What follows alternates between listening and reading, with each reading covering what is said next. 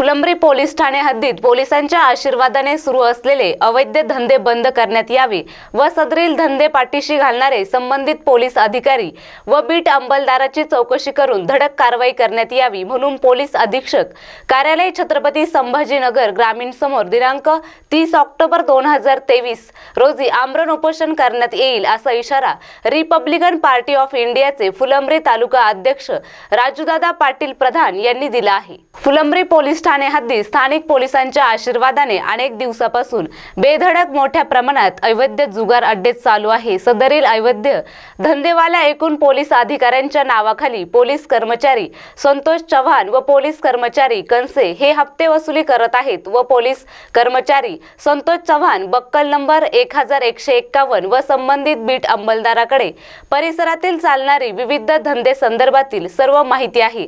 संबंधित पोलीस अधिकारी व कर्मचारी चे मिली भगवत शहरात ऑनलाईन मटका ऑनलाईन चक्री ऑनलाईन लॉटरी कल्याण मुंबई मटका ऑनलाईन पत्त्याचे कलब टेबलवर काळा पैसा अवैध देशदारूची दुकाने अशा प्रकारचे दुकानं थाटलेली आहेत. तसेच फुलंब्री बस स्थानकासमोर फुलंब्री टी पॉइंटवर फुलंब्रीत औरंगाबाद जळगाव हायवे रोड लगत पडदे लागून चार ते पाच दुकानात जुगारं थाटलेली आहेत. परिसरात खुलेआम चालणाऱ्या जुगाराकडे शाळकरी मुलंही आकर्षित होत असल्याने जुगाराची लत लागून त्यांचे भविष्य बर्बाद होत आहे व सदरील अवैध धंद्यांमुळे फुलंब्री हद्दीत गुन्हेगारी वाढत आहे. जुगाराच्या दुकानावर कुठे ना कुठे दररोज मारामाऱ्या शिवीगाळ होत असताना असे छोटे मोठे भांडणांचे रूपांतर मोठ्या प्रमाणात होण्याची किंवा जुगारे व दारू पिणारे एकमेकांच्या जीवाचे घातपात करतील अशी संभावना आहे. तर या जुगार अड्ड्यामुळे भुरटे चोरांचे प्रमाण वाढत आहे. याकडे अधिकारी लक्ष देतील का? असे सामान्य नागरिकांना आता प्रश्न पडला आहे.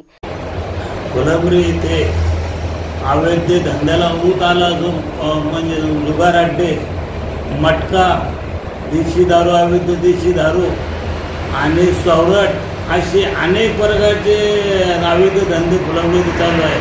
व इथं प्र पोलीस डिपार्टमेंट कोणी त्याच्यावर लक्ष देत नाही. पोलिसांच्याच आशीर्वादाने मोठमोठाले धंदे इथं थाटलेले आजच्या परिस्थिती अशी झालेली आहे काही घोटे चोर वगैरे चोऱ्या वाढल्या फुलंबरीमध्ये.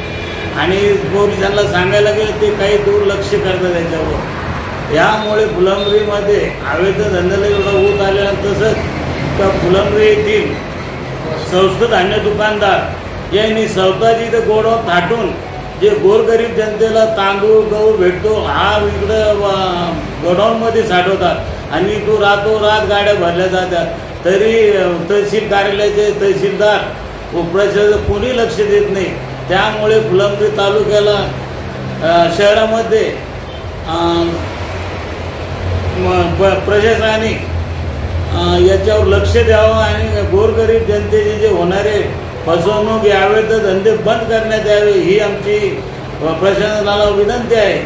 ना नसतं प्रशासन लक्ष दिलं तर रिपब्लिकन पार्टी ऑफ इंडिया रस्त्यावर उतरून आंदोलन छेडील कृपया याची नोंद घेण्यात यावी. तुमचं नाव आणि मी Raju Pradhan R P I Athawale कडाचा तालुका अध्यक्ष फुलंब्री.